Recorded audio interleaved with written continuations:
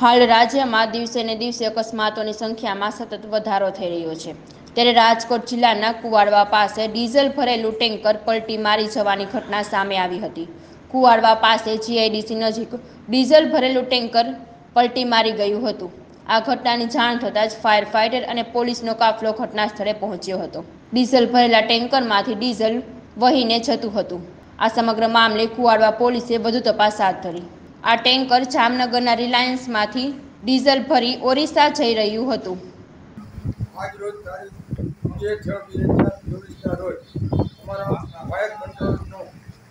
આવેલ છે. Kuvadva road diesel ભરેલું ટેન્કર પલટી મારી ગયું હોય તો તાત્કાલિક ફાયર ફાઈટર લઈ અને અમે ઘટના પહોંચી ગયેલ છે.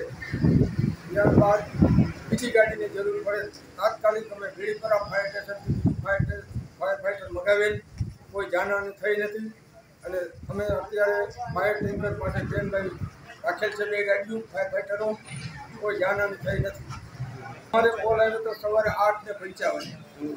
અત્યારે બે ફાયર ફાઈટર ઘટના સ્થળ ઉપર છે ટ્રેનભાઈ આગળની કાર્યવાહી શું થઈ આગળની કાર્યવાહી એ લોકો માલિક આવી ગયા છે ક્રેનની વ્યવસ્થા કરે છે કોઈ જાનહાની થયેલ નથી કોઈને પણ લાગ્યું પણ નથી.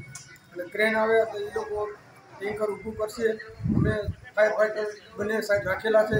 કોઈ આગ બનાવ ન બને એના માટે અમે તૈનાત થઈ ફાયર સ્ટાફ